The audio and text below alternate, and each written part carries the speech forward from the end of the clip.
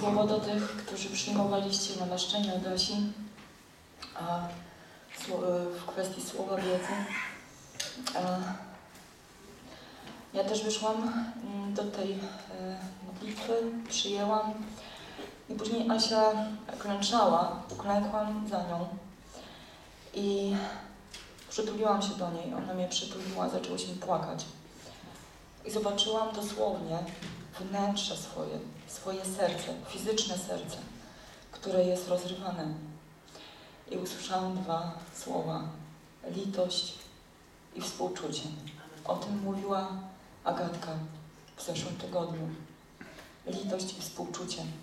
Moja historia jest taka, że ja kiedyś tam uwierzyłam w to, że duch jest bezduszny, a więc ja będę wszystko robiła na zimno.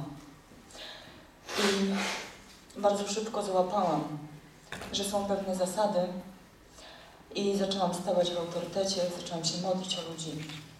I kiedyś miałam taką sytuację, kiedy wyjechaliśmy taką ekumeniczną grupą misyjną do Brukseli, że jedna z liderek w nocy miała potężną migrenę.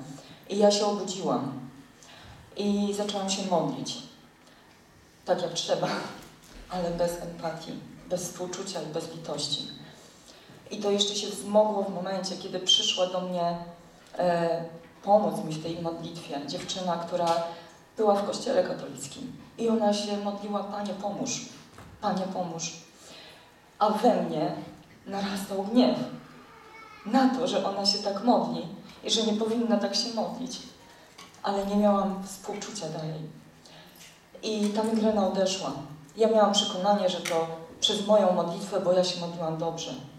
Ale zaraz potem tamta dziewczyna podniosła ręce i po prostu zaczęła uwielbiać Boga. I zaczęła uwalniać potężną wdzięczność.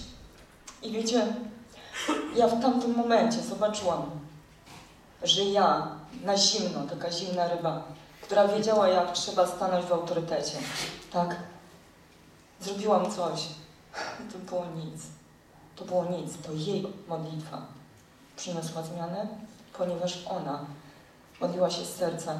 I ja dzisiaj podjęłam decyzję, że godzę się na pewien, pewnego rodzaju ból i cierpienie.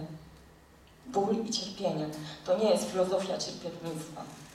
To jest zgoda na to, żeby współodczuwać z tym człowiekiem, żeby zapłakać. Amen. I to chciałam Wam powiedzieć. A do drugiego